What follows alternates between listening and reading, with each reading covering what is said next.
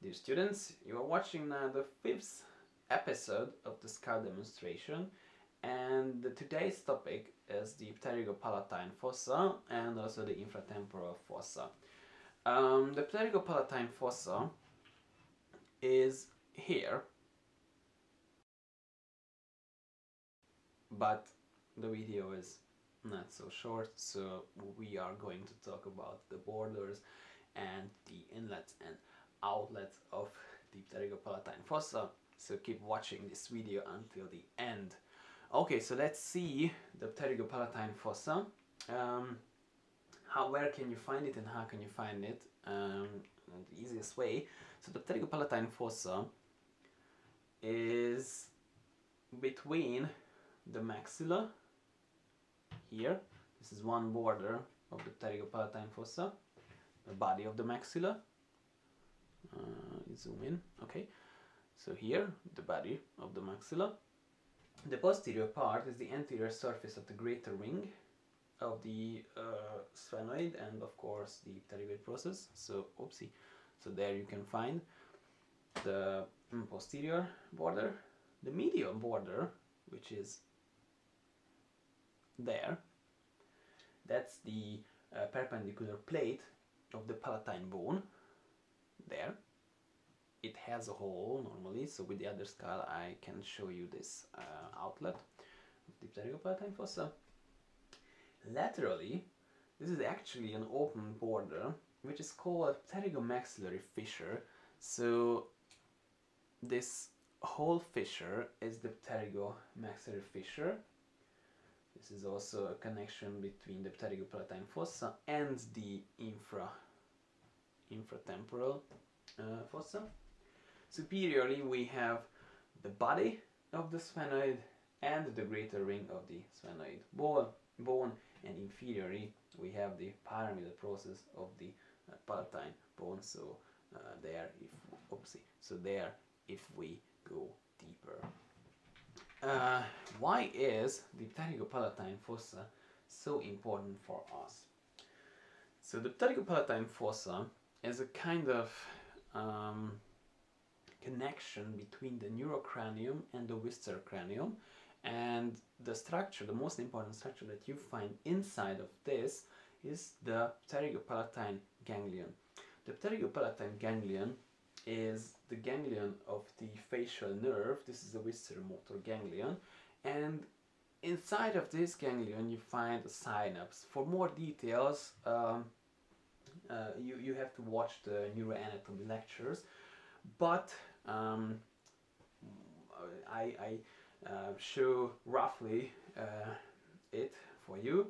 And uh, for this I'd like to uh, make um, really easy and and really uh, so not so complicated drawing so in order to demonstrate the inlets and the outlets of the pterygopalatine fossa, I will make you a small drawing about the openings, I mean inlets and outlets, and then at the end of this uh, video I will show you these uh, things in the skull. Okay, so let's see the openings of the pterygopalatine fossa. Um, if if I demonstrate it for my uh, anatomy 1 groups, um, I use a uh, story in order to, to describe the inlets and outlets of the pterygopalatine fossa. If you already um, um, use the, the metro lines in Budapest, you, you, you had to change uh, the Deák square, Deák there, and the pterygopalatine fossa is like the Deák square. So there we go. Palatine fossa. Uh, why I'm saying this? Because, as you know, the Deák square is a connection between the three metro lines and the pterygopalatine fossa has three inlets and three outlets. And uh, inside of this you find, as I said, the pterygopalatine ganglion. This is here. Okay, start with some with the inlets. Uh, one is here around, which is a connection between the uh, middle crania fossa and the pterygopalatine fossa. This is the foramen rotundum. Rotundum. And inside of the foramen rotundum, we find the second branch of the fifth cranial nerve, so maxillary nerve.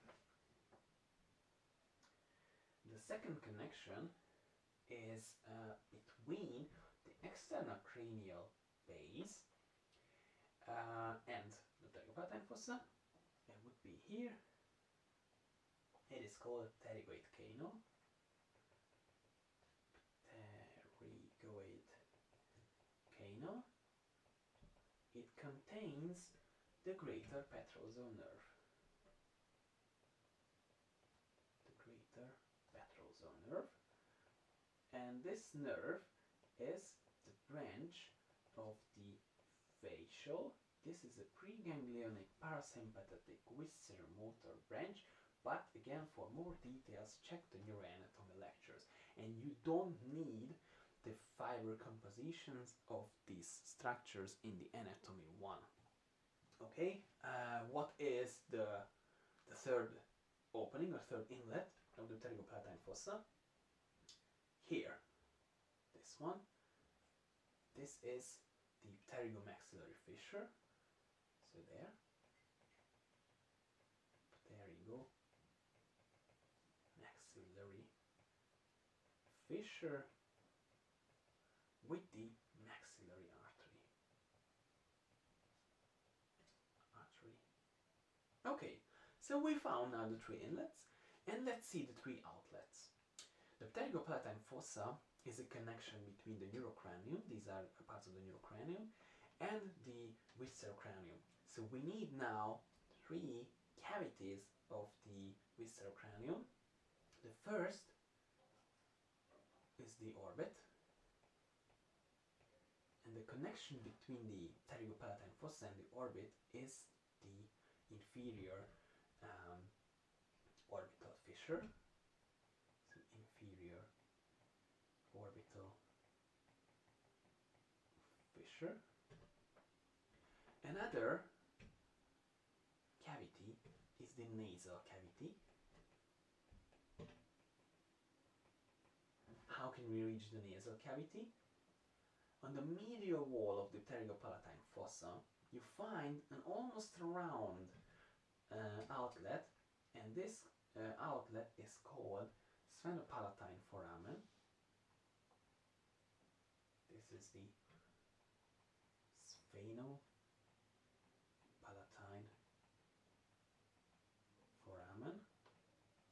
It doesn't matter if you cannot read it now because you can find it in the handouts of the in the answer with better uh, handwritings. And then another outlet is here to the oral cavity and uh, this is uh, the greater and lesser palatine foramina so these greater and lesser palatine foramina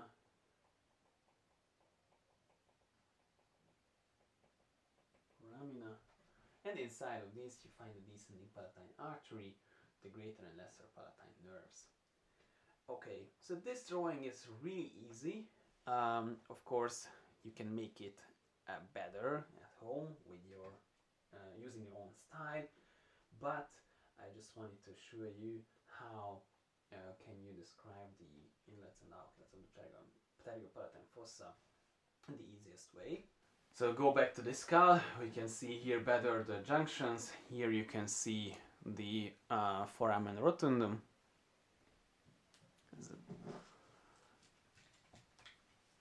Here you can see the uh, pterygoid canal and this is the pterygomaxillary fissure. What are the outlets? There you can see the uh, inferior orbital fissure. If I put it through this hole and I open the middle nasal septum, you can see there the sphenopalatine foramen and there you will see the greater and lesser palatine foramina. And at the end, let's see the um, infratemporal fossa.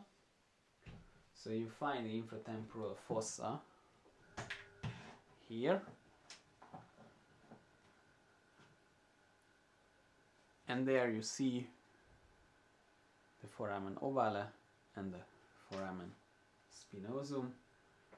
We've already seen these two uh, parts, uh, two uh, in inlets of the skull. Thank you for your attention.